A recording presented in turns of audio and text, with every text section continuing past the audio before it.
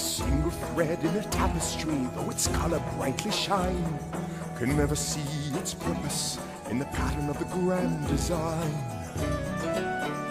And the stone that sits on the very top of the mountain's mighty face doesn't think it's more important than the stones that form the base.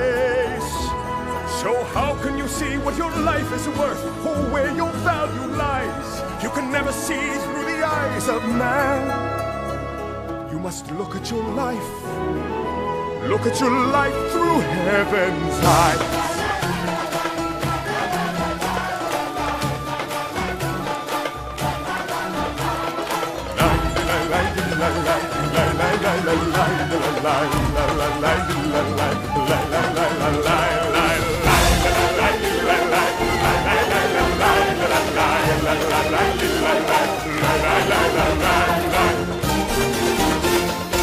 Lake of gold in the desert sand is less than a cool, fresh spring. And to one lost sheep, a shepherd boy is greater than the richest king. If a man lose everything he owns, has he truly lost his worth? Or is it the beginning of a new and brighter birth? So how do you measure the worth of a man in wealth or strength or size? In how much he gained or how much he gave? The answer will come. The answer will come to him who tries to look at his life through heaven's eyes. And that's why we share all we have with you, though there's little to be found.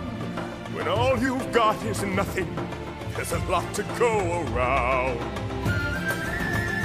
No life can escape being blown about by the winds of change and chance. And no, you never know all the steps, you must learn to join the dance. You must learn to join the dance.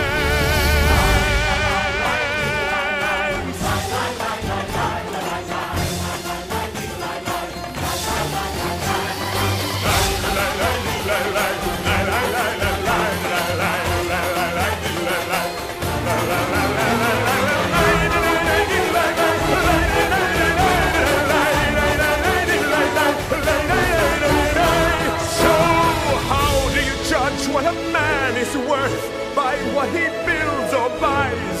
You can never see with your eyes on earth. Look through heaven's eyes. and Look at your life. Look at your life. Look at your life through heaven.